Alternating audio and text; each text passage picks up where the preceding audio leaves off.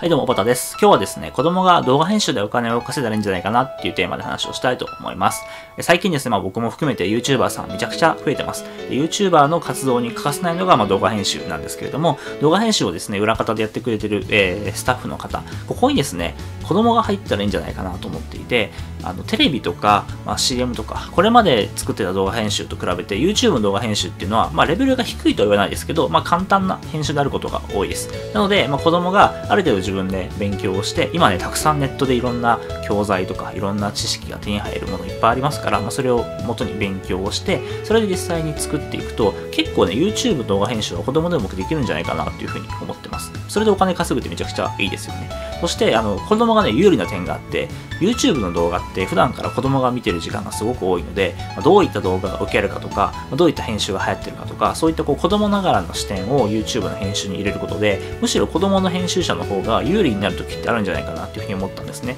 なので、まあ、子供が自宅で自分の好きな時間で動画をバーって編集して、それでお金を稼ぐっていうのはめちゃくちゃいいなっていうふうに思ったんで、これはなんか広めたいなというふうに。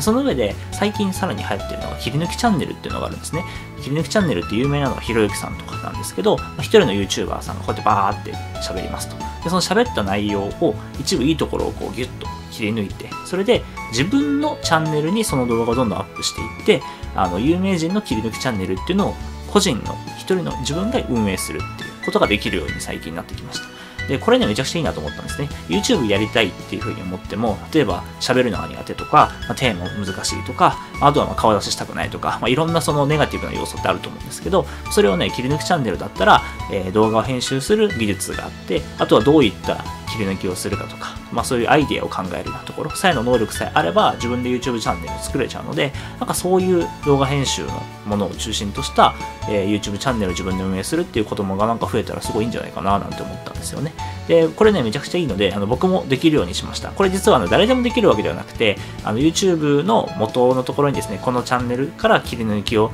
えー、してもいいよっていう風に特別な許可をもらわなきゃいけないんですけど、まあそれ無事に僕も許可もらいましたので、僕の過去の動画含めて、僕の YouTube チャンネルの上がってる動画は、えー、ユーザーさんが自由に切り抜いて、それで自分で好きに動画を作って、自分のチャンネルにアップをしてもらって、それで稼いでも OK という風になりました。えー、ぜひですね、えー、一緒に盛り上げてもらえたら嬉しいです。あの、僕もこれから YouTube もっともっと頑張っていこうと思ってますので、その時にですね、切り抜きチャンネルとして、一緒にそれを、え、援護してもらう形で、一緒に盛り上げていけたらいいなというふうに思ってます。そして、実際にそれが盛り上がっていったら、え、切り抜きチャンネルを作ってくれた人も収益化できるので、そこでこう還元できるんじゃないかなと思うんで、一緒に稼げたらいいなと思います。で実はね、先行でもう募集を始めていて、今ね、10チャンネルぐらい実は、えー、やりたいですということで連絡が来ています。で、この10チャンネルのメンバーとですね、今オンライン上で今グループを作っていて、そのオンライン上でいろいろ双方向でやり取りをして交流をしています。で、実際に、えー、切り抜き動画作ってもらったやつを僕が見て、もっとこうしたらいいんじゃないのとか、